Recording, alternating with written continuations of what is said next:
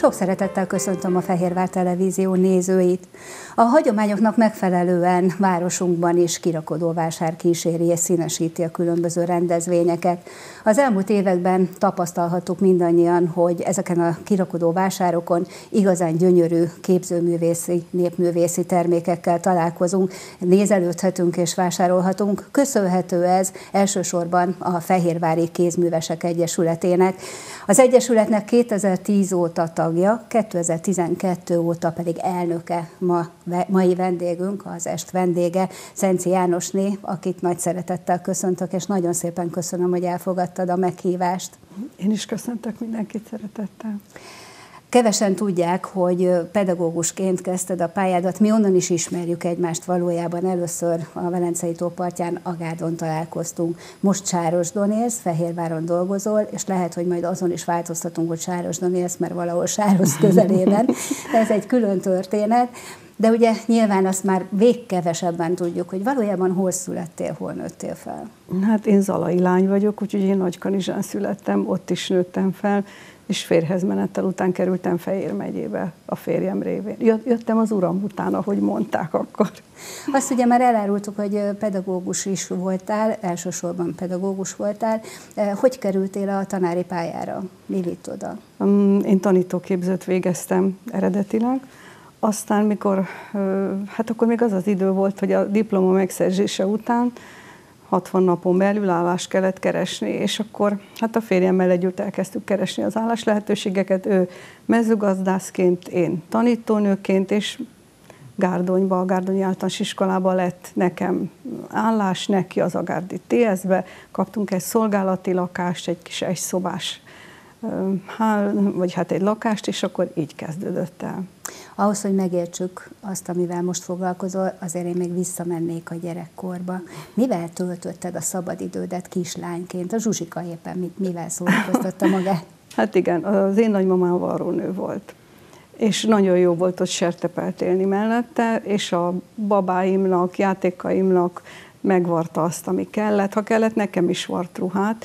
Tehát én, én egy ilyen kézi munkázós közegben nőttem fel, úgyhogy én nekem ez, ez már gyerekként ott volt a hobbik között.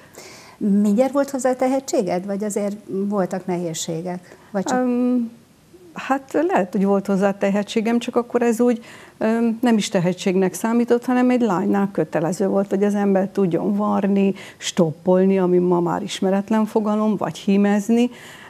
És akkor hát ezt úgy elkönyvelték, hogy én ügyesen meg tudom csinálni. Még gondolkodtam a tanári pályán is, hogy rajz szakra mennék, matematika rajzszakra, de aztán um, ugye hát én nem részesültem rajzból ilyen előképzettségbe, így aztán Hát másra mentem. És itt van a következő fricska. Ugye azt hinni az ember, hogyha valaki népművész és népművészekkel foglalkozik, akkor inkább a humán tárgyak érdeklik. Ehhez képest mi, mit tanítottál? Én, én matematika, fizikát, tehát a tanítóképző után elvégeztem a matematika szakot, a fizika szakot, az oktatási informatika szakot, Úgyhogy én folyamatosan képeztem magam, és ez pedig a, a hobbi volt. Azt mondják, hogy ezek ilyen férfi oldalak, és neked mégis ez volt a kedvenc. Én meg azt mondom, hogy mindenhez matematika kell. Tehát a, ugye én szövéssel foglalkozom, nagyon sok szerepe van a matematikának benne. Ugye amikor azt mondjuk, hogy, hogy a Fibonacci sorozat szerint csináljunk meg valamit, hát az így nem mond semmit, de aki tudja a matematikát, az tudja, hogy ez egy olyan számsor, ami alapján, ha mintát szövünk, akkor az ember azt harmonikusnak, szépnek látja, vagy ott van az aranymetszés. Az aranymetszés szabályait betartom, ami egy matematikai dolog, és úgy készítek el tárgyakat, akkor ha ránéz valaki, akkor az, az számára megnyugtató, pihentető, tetszetős dolog. Amikor tanítottál, úgy érezted, hogy ott vagy, ahova szerettél volna kerülni? Mm, igen, igen. Én nagyon szerettem tanítani, az az igazság. Gyerekeket is szerettem, nem sok rossz gyerek volt, le tudtam kötni őket, annak ellenére, hogy a két legszebb tárgyat tanítottam, de próbáltam arra törekedni, hogy, hogy megszerettessem velük a matekot, vagy ha kell, akkor még ötször is elmagyarázom hatféleképpen, hogy megértsenek dolgokat. Hány évig voltál tanár? 26. Azért az szép teljesítmény. nagyon, nagyon sok gyerek köszönhet rád az utcán. Hát így van, így van. A Gárdon 26, Gárdonyban még egy hat évet voltam, úgyhogy tényleg nagyon sok tanítvány köszön rám. Végül is nyugdíjba vonultál, azért hagytad ott? Nem, nem. Nyugdíj előtt pár évvel hagytam ott az iskolát, miután hát elköltöztünk a gárdról. Született két unoka, és én, én szerettem volna aktív nagymama lenni, vagy részt venni az életükben, mert úgy kiszámoltam, hogy mire egy nyugdíjba megyek, addigra ők már 14-16 évesek, hát akkor már felnőttek nélkülem. És aztán így, így váltottam. Hova? Magádról hova? Öm, ugye elköltöztünk, a férjem mezőgazdasággal foglalkozott, ő lett a főnököm, úgyhogy én úgy mentem nyugdíjba, hogy a, a közös családi gazdaságban dolgoztam. És aztán, aztán jött a, a közben az, az új dolog, hogy hát az Egyesület. Mióta laktok Sárosd mellett? Sárosdon 2005 óta. Ez is hosszú idő, azért érdekes erről is beszélni egy kicsit, hiszen egy tanyán éltek. Így van, így van. Tehát mi nem a faluban lakunk, mi egy tanyán, tehát nekem a legközelebbi szomszédom négy és fél kilométerre van, egy más világ. Milyen az élet manapság tanyán? Még nem találkoztam olyannal, aki így él. Igen, ezt sokszor megkérdezik tőlem is, mert én azt szoktam mondani, hogy nem az a hagyományos tanyasi vagyok, ugye nincsen lovunk, mert legtöbb embernek az kapcsolódik oda, hogy biztos lovak, meg ott kilovagolok, nem, ilyen nincsen, én az autómmal közlekedek. Hát viszont a, a megvett földek ott vannak a tanya körül, ugye a férjem mezőgazdász volt, ezzel foglalkozott, és hát egy más világ, csendesebb, nyugodtabb. Segíts elképzelni, hát ugye nem a, az kert végében jártok mosdóba. Ah. Tehát hát van víz, minden bevezetve, minden, minden, minden ami, minden, ami minden egy, egy van, vízgáz, minden, mindent kialakítottunk ott, tehát, tehát tulajdonképpen minden komfort megvan. Mivel ékesíti egy, egy népművész a, a saját házát, lakását, környezetét? Hát a szőtteseivel, igen.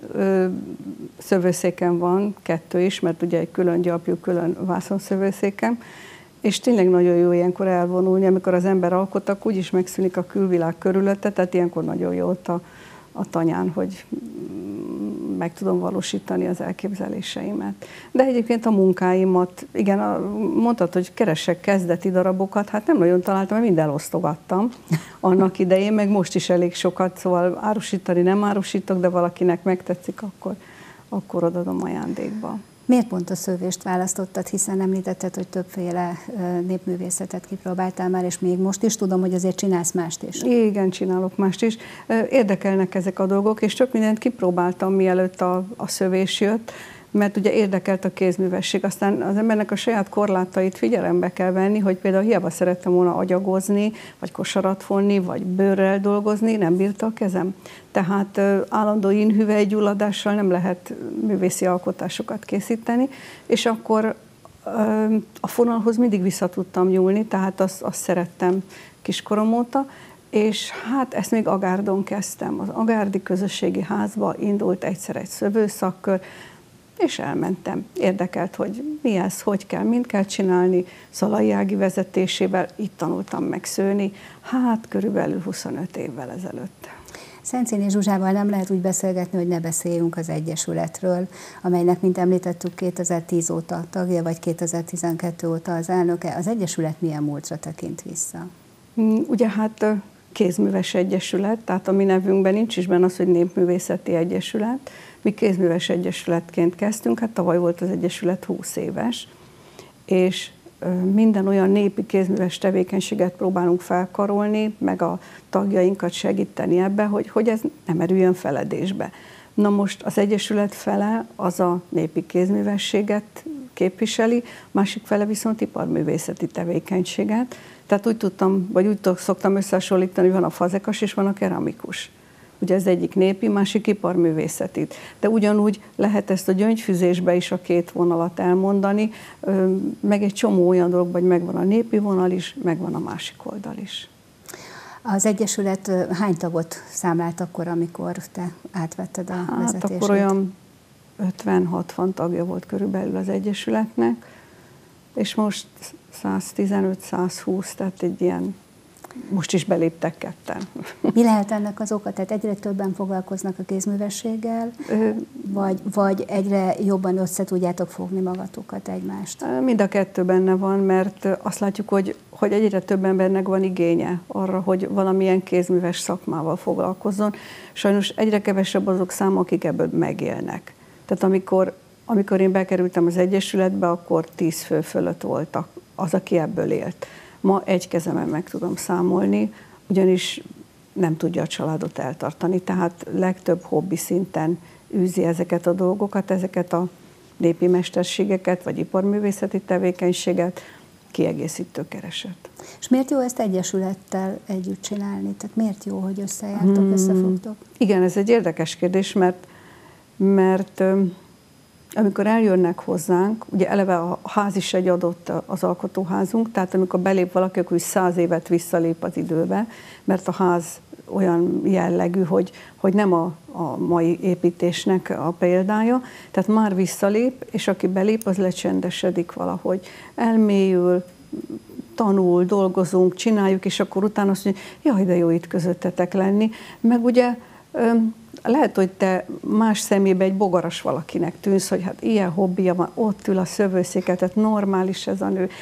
és, és nem tudja megérteni, de amikor a hasonlókkal összetalálkozol, akit ugyanúgy megbolondítasz, ha lát egy kiló gyönyörű fonalat, és már jár az agyat, hogy hú, ebből mit lehetne elkészíteni, akkor azt mondod, hogy hát ez mégiscsak jó, olyan társaságban vagyok, akiknek hasonló az érdeklődése, és az egyesületi tagok ezt például nagyon tudják értékelni. Tehát mindenképpen összetart, hogy közös a téma. Igen. Amellett, hogy hobbiként csináljátok, azért most már munkáról kell beszélni, hiszen rengeteg feladatot vállaltok magatokra, aztán gondolom jön magától is. Hát igen, egyik hozza a másikat ugyanis mi is látjuk, hogy, hogy hány érdeklődő van, hányan jönnek, akkor mivel mi egy egyesület vagyunk, mi pályázatokból élünk, tartjuk fel magunkat, és azt látjuk, hogy egyre nagyobb, egyre sokrétű pályázatot tudtunk megnyerni, és tudtunk foglalkozásokat tartani úgy, hogy a, a város lakossága, vagy akár van, hogy Dunántúl, egész Dunántúról jönnek hozzánk emberek.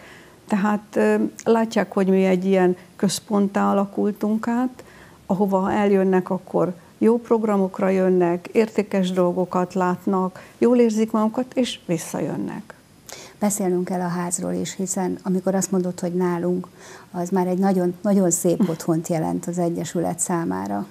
Ö, igen, hát a Rácz utcában ez egy romos ház volt, amit az Egyesület megkapott a önkormányzattól, fel kellett újítani, rendbe tenni, és, és hát mindig keressük a lehetőségeket, hogy hol van olyan pályázat, hogy a házat tudjuk egy kicsit fejleszteni.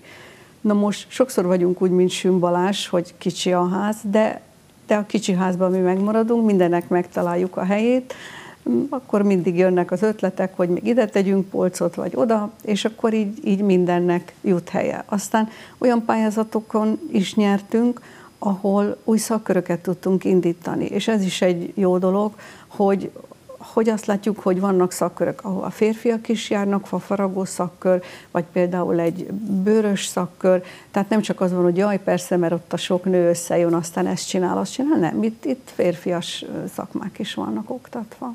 Zászlótokra tűztétek a fiatalok bevonását ebbe a feladatba. Működik? Hmm, Érdeklődnek? Nagyon nehezen, nagyon nehezen. Azt látjuk, hogy a általános iskolások igen érdeklődnek, tehát a nyári táborainkon is a, a iskolás korosztályból megtelik mindig a létszám.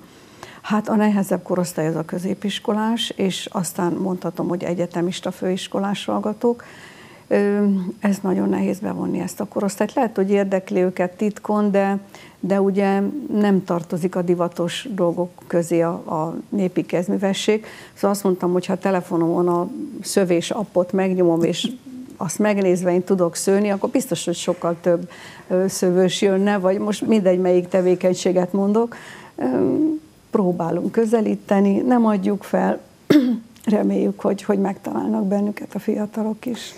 A középkorosztály rohanó világban a napi munka után leül? Igen. Igen. Igen, azt látjuk, hogy több szakkörünk úgy kezdődik, hogy fél ötöt körül. Munka után jönnek, és akkor ilyen kicsit ziláltan, és mire hazamennek 8 órakor, nagyon sokan meg is mondják, hogy hát úgy kiment belőlük, mert teljes elmélyővel festik a bútort, vagy szőnek, vagy üvegékszert készítenek, vagy varnak, és ez, ez lecsendesíti az embereket belülről területet is érdemes megnézni, hogy meddig jutottatok el. Amikor először találkoztunk úgy, mint az Egyesület elnöke, akkor fehérvári tagokat számláltatok elsősorban. Aztán később mondtad, hogy a megyéből is egyre többen vannak. Így van. Ez így folytatódik tovább? Ez, ez folytatódik tovább, mert Budapesttől Hát Zaláig vannak tagjaink, Paksi tagunk is van, Győri tagunk is van. Mennyit tudtok velük találkozni?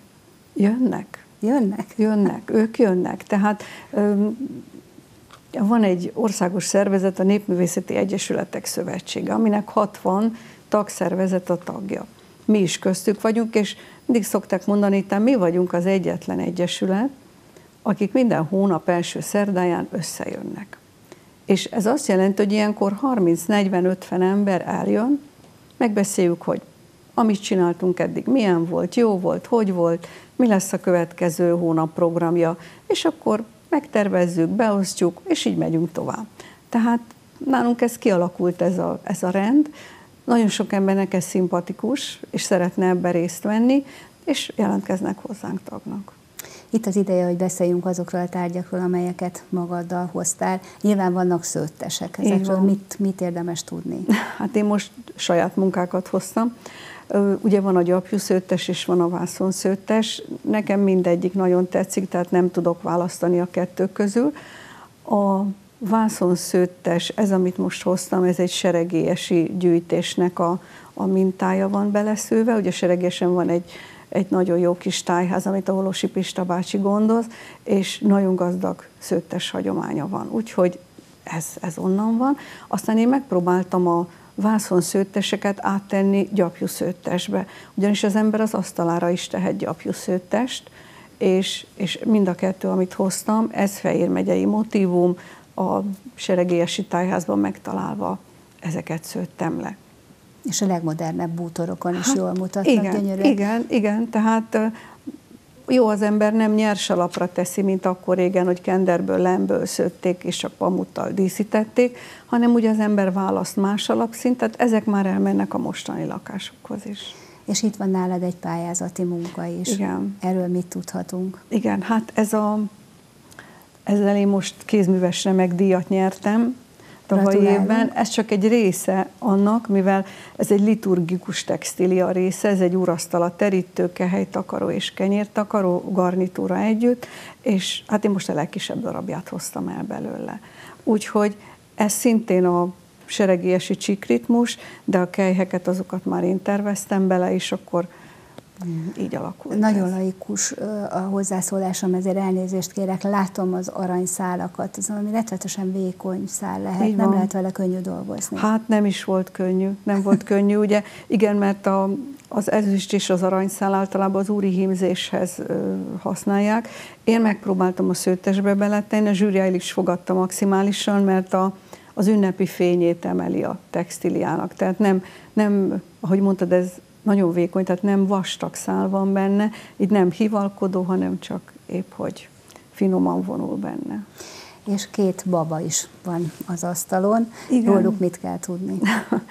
hát mióta nyugdíjasok vagyunk a férjemmel, azóta járjuk a világot, tehát minden évben elmegyünk valahova, és voltak egzotikus országok, voltak Európába levő országok. Úgyhogy én most két olyan babát hoztam. Az egyik az egy üzbék baba, tehát mikor Üzbegisztánban voltunk, akkor Hát ha megnézed ezt a babát, ugye azt hinné az ember, hogy hát ez csak egy baba, de ott a nők ilyen ruhába járnak, az utcán is. Mai napig is? Mai napig, mai napig, tehát mi találkoztunk ezzel, hogy, hogy ilyen öltözékbe járnak a nők. És a másik pedig egy vietnámi baba, ahol szintén ugyanezt tapasztaltuk, hogy Vietnám északi részén ott a népviseletet hordják. És akkor én mindenhonnan hozok egy babát, úgyhogy már elég szép babagyűjteményem van. Utazásaitok során megkeresed a szövőket is? Mindig. Ó, én azt, azt vadászom, és a baba mellett mindig egy darabka szőttest is hazahozok, érdekel, hogy ők hogy csinálják, milyen összefüggés van, sokszor hasonlítok is, hogy mi hogy csináljuk, ők hogy csinálják. Ilyenkor lehet látni, hogy egyes motivum mennyire nemzetközi. Mert ugye viszintes és függőleges szálak találkozásából mi az, ami születik, hát másik kontinensen is tudnak ilyet csinálni. Matematika, fizika, unokák, tanya, szövés, szőrtesek, utazások és, igen. és babák. Igen, igen. Nagyon aktív életet élsz. Um, igen, igen, és nekem ez így tetszik, szóval um, mondhatom, hogy így tart fiatalon, vagy lélekbe fiatalon, inkább úgy mondom. Szóval én, én szeretek célokat kitűzni, megvalósítani, és nem is mondtam el mindent a, a felsorolásból, hiszen, hiszen más képzőművészeti irányzatokkal is kísérletezel, és igen, sikeresen. Hát igen, van, amit megpróbálok, van, ami tetszik, és, és meg tudom oldani, tehát kedvencem még a szalagszövés például, kártyával, szátfával, ez is egy különleges technika. Er, erről is... most mondjál többet, mert ezt most nem tudjuk megmutatni a nézőknek, tehát hogy el tudjuk képzelni. Hogy tehát szövött szalag lesz belőle, amit különféle eszközzel lehet létrehozni, vagy úgy, hogy csak a kezeddel fonod. És nincs eszköz, csak meg tudsz fonni valami nagyon szép szalagot. Tehát ez is nagyon tetszik. Aztán a frivolitás, vagy hajócsipkével is kacérkodom, hát ott még kezdő vagyok, de ezek érdekelnek. Térjünk vissza az Egyesülethez. Egy sztori jutott eszembe, amikor az augusztusi rendezvények Ken, szerettem volna veled interjút készíteni, és mondtad, hogy mindent megoldunk, csak nem tudod, hogy mikor, hol leszel, mert hogy egyszerre a várban is ott vagytok Budapesten, és itt is itt vagytok a rendezvényen. Hogy kerültetek a várba? Mint egyesület? Hát így, hogy a, a Népművészeti Egyesületek Szövetségének tagja vagyunk, és akkor azok az egyesületek, akik, akiknél azt látják, hogy jó a kézművesség, szép termékeket tudnak árusítani, eladni, meg hát ugye vannak ott feltételek, hogy hogy kerülhetünk be a várba, akik ezt teljesítették, így mi bejutottunk a várba. És ez azt jelenti, hogy minden év, augusztus, hát éppen 20-a körül, ugye attól függ, hogy esik az a négy napos ünnep, akkor az Egyesületünk felvonul a várba, és ott, ott mindig egy megadott téma szerint kell berendezkednünk, bemutatózni, várni a vendégeket. Tehát ilyenkor nem csak árusítás van, hanem, hanem kézműves bemutató, sőt, ha valaki szeretne megtanulni, akkor beültetjük, megmutatjuk, vagy adunk magunkról prospektus, nagyon sokan megkerestek már bennünket így, hogy a ó, a várba találkoztunk, de jöttünk le Fehérvárra, és akkor most bejöttek hozzánk. Van annak jelentősége, hogy itthon jelentek meg a, a kis kecskelábúakkal, vagy a várban? Um, Hát az a jó, ha mindenhol megjelenünk, most így szerényen mondom, mert ugye itt is megjelenünk Fehérváron, amikor augusztus Más a közönség? Mm, nem, az érdeklődés egyforma. Talán annyi, hogy a várba többször jönnek külföldiek, és ugye ilyenkor a nyelv se kell, tehát megértik azt, hogy hogy varja az ember, vagy hímez, vagy gyöngyöt fűz, vagy bútort fest, tehát ez, ez ilyenkor így, így könnyű de az érdeklődők mindig megtalálnak bennünket. Külföldön megmutattátok már magatokat? Hmm, hát úgy, hogy táborral mentek ki pusztinára kézműveseink, úgy már volt. Most ez jó kérdés, ezen gondolkodom, hogy hát kézműveseink jutottak már ki külföldre, tehát egyesületi vagy szervezet szinten, mert voltak már Milánóba tőlünk emberek, a, a Milánói világkilállításon kézműveseink voltak kint aztán Innentől kezdve európai Bécsbe is, igen, ott is, oda is kiárnak többen, tehát, tehát azért, azért vagyunk. Inkább hozzánk jönnek, például a tüzelvassalon három-négy országból hozzánk jönnek a késesek. Mert ugye el kell mondani, hogy ez is a Fehérvári Kézműves Egyesülethez tartozó rendezvény, a tűzelvassal, ami évről évre nagy siker. De ha már itt tartunk, akkor beszéljünk programokról. Mit terveztek 2020-ra? Hát akkor mondom a közeli programokat, ugye jön most a húsvét, tehát húsvét előtt nálunk mindig van egy olyan, hogy tojásfestő maraton. Ez azt jelenti, hogy aznap csak tojásfestés lesz, és április 5-én vasárnap egész nap tojást fogunk, de nem csak hagyományosan festeni, tehát nem csak a népi technika jelenik meg, hanem modern technikák is. Tehát a hagyományos ugye, hogy piros festék, vagy belekarcolják, vagy viaszolják a tojást, írókával megrajzolják, vagy berzselik, hogy a növénykét rákötik, de ez mellett lesz olyan, hogy fonalat tekernek rá, gyöngyöt tesznek rá, vagy egyéb más módon díszítik.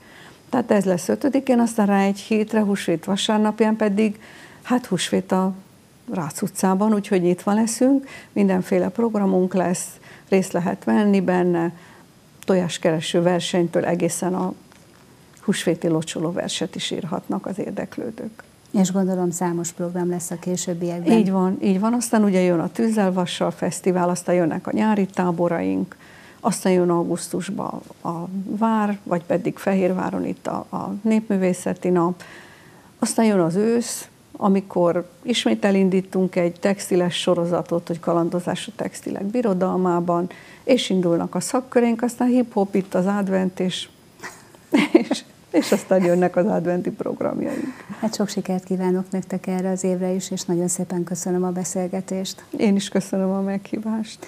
A Fehérvár Televízió nézőinek is nagyon szépen köszönöm a figyelmet, további szép estét kívánok, viszontlátásra!